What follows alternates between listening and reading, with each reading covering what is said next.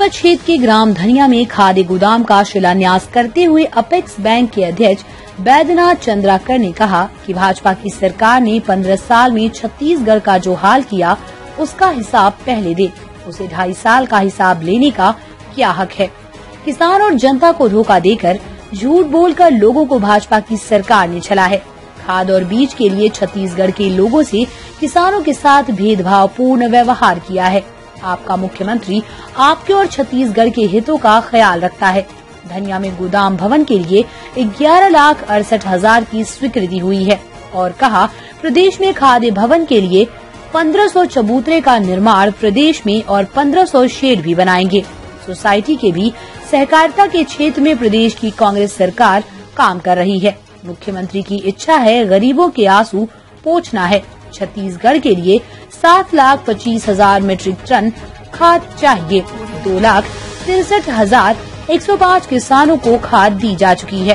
कहा कि जहाँ जहाँ पर खाद है, वहाँ पर किसानों को जल्द वितरण किया जाएगा।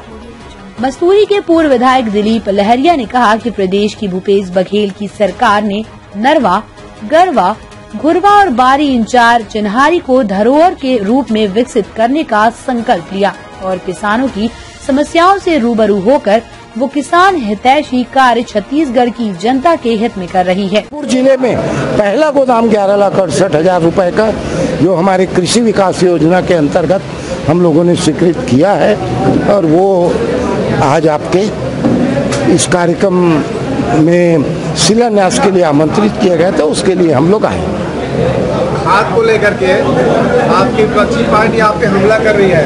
आप जहाँ खाद को आवश्यकता बता रही है, वहीं पर आपकी विपक्षी पार्टी जो बोल रहे हैं, आप अपनी नाकामियों को छुपा रहे हैं। मैं यही बताने के लिए आया हूँ कि यहाँ पर जिनको आपने चुन के भेजा है, कम से कम एक बार तो वो केंद्र सरकार से एक चिट्ठी लिख दें। आंदोलन नहीं कर सकते, मत करो। लेकिन समय न्यूज़ के लिए सीपत से प्रदीप पांडे की रिपोर्ट।